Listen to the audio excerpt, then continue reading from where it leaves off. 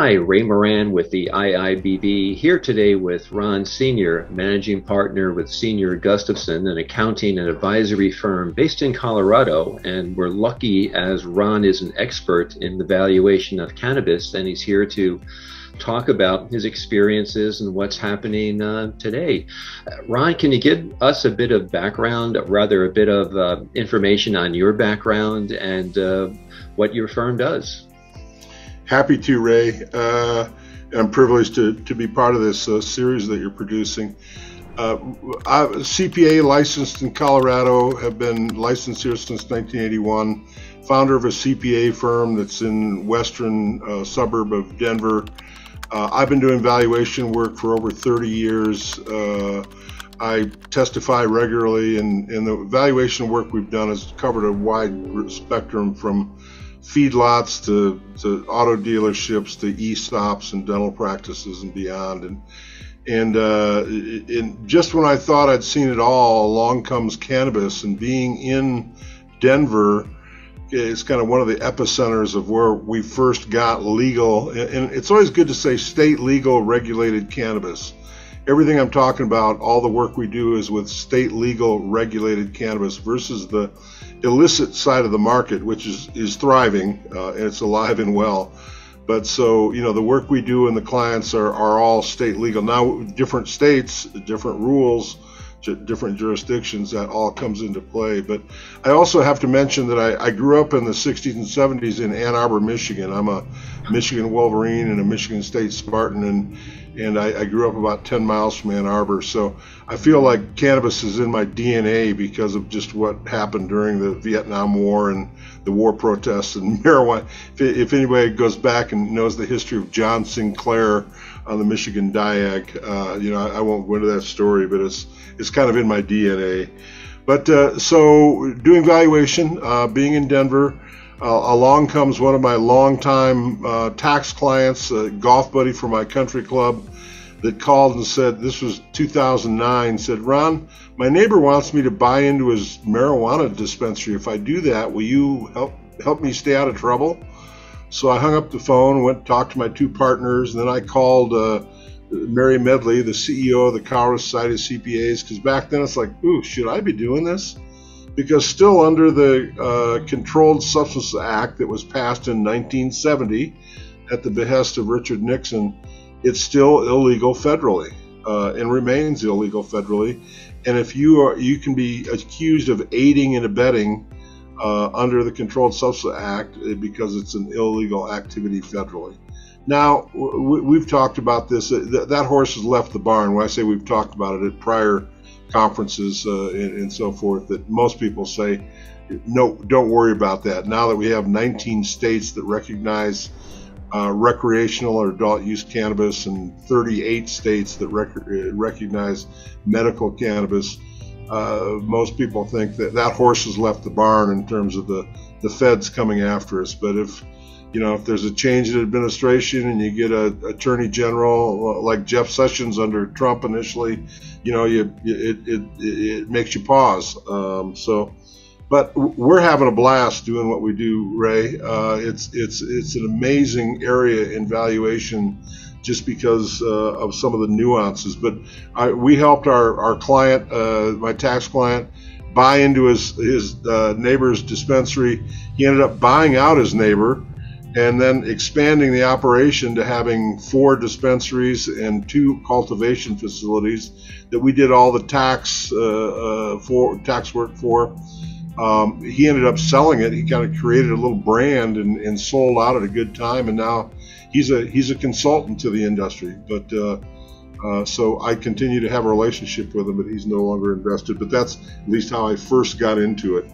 And then people started saying, "Hey, you Seigneur, you do a lot of valuation. Can you can you value our our cultivation license, or can you value this dispensary? Because we a lot of times it, kicking out bad actors. You know, under state legal, you gotta to be in the ownership group, you have to meet approval of the state regulators, and sometimes it, it, if somebody has a peccadillo in their in their background, it's like we need to buy Joe out because he can't be on our license or we're looking at selling or buying or you know or, or raising money whatever it might be those are the things that take us down the, the path of valuing cannabis licenses and, and, and business interests.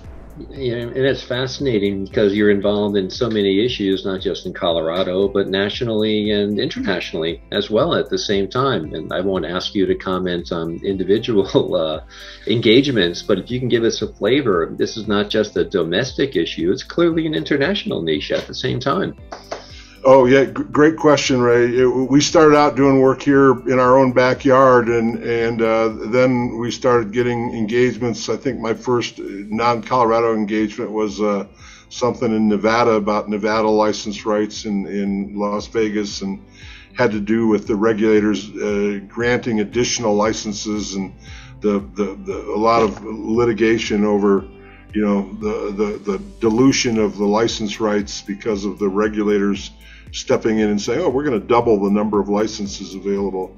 Uh, we've done work in Oregon and Maryland and Michigan and New Mexico. New Mexico just went recreational as of the first of this year, so it's like what we call an emerging market because they're now they've had a little bit of medical, uh, but now recreational. So and it's interesting because we we valued some license rights on the southern border of Colorado that have uh, most of their businesses come from south of the border.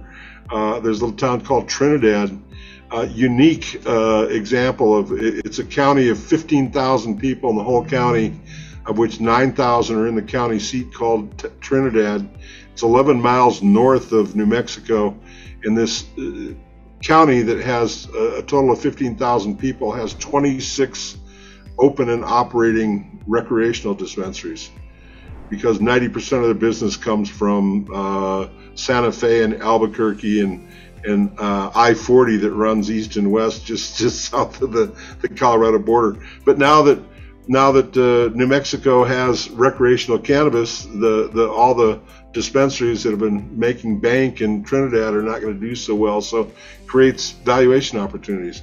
You also mentioned uh, international stuff. This is not just a domestic issue we've been um, on the edge of having an engagement in Panama where some folks uh, own uh, an island, a hundred acre island just off the coast of Panama City, and they're trying to get approval from the Panamanian government to create a, a cultivation facility on this island uh, that would export their product to Europe. Uh, uh, because Europe imports a lot of their, their cannabis uh, from Canada and other places. We've also got a damages engagement that we're on the front end of where we're likely going to be valuing license rights in Colombia, Buenos Aires, Argentina, and Jamaica. Uh, in terms of what were they worth at the time that you know there was alleged malfeasance and damages.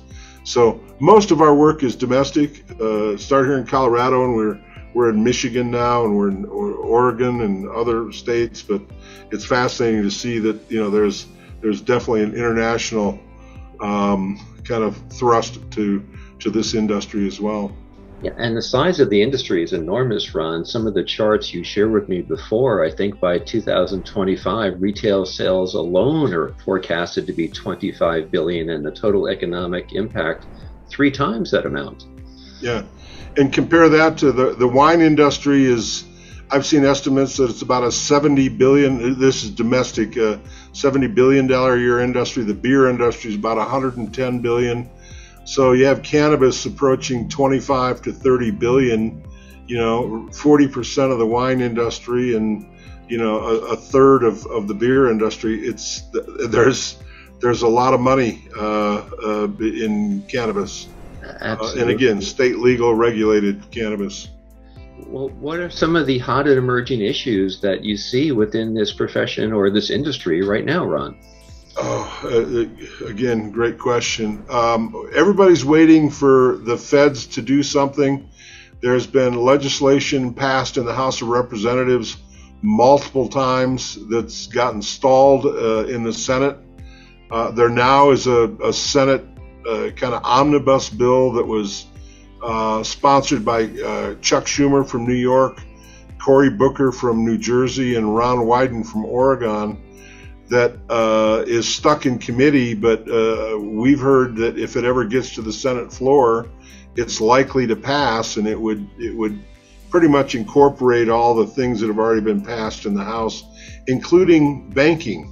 There's a separate bill called Safe Banking that would allow legal federal banking and allow the big banks to come in. Um, and th- that's being pushed kind of outside of the bigger legislation.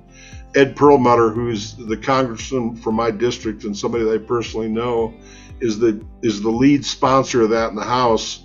And we're hearing right now that they've attached some some veterans rights to that bill. They're trying to figure out how to make it attractive enough in the Senate to maybe get that to the Senate floor before the other parts of federal legalization to allow banking uh, by giving like social equity preferences to veterans. Um, and, and a lot of people think that if, if safe banking was to pass, uh, legalizing federal banking, and you'd see Chase and Wells Fargo get into it, that that might be kind of the the tsunami that gets the rest of it kind of resolved. On the other on the other hand, Ray, it's you talk about a unique dynamic. A lot of people are like, be careful what you ask for because the, this is kind of a cottage industry, if you will, with a lot of you know small players that are kind of protected because of the federal illegality. Um, now they're punished too because of uh, the tax issues, the the federal limitations on deducting expenses. But you know what many people think is once the feds legalize it, the big boys, the big boys and girls are going to come in, whether that's Ambev or Amazon or you know Walmart, uh, you know, and they're going to sweep up the industry, and it's it, it, the the little players are going to you know kind of be swept aside. So uh, that's kind of a that's on the horizon of something that you know goes into our kind of analytical thinking of what should the risk be. Uh, and boy, is that a wonderful lead-in! And you were telling me about some of the uh, the location-specific issues that you have to deal with in in valuing these businesses. So every state legal business is subject to license uh, regulations in the particular state and in the particular municipality.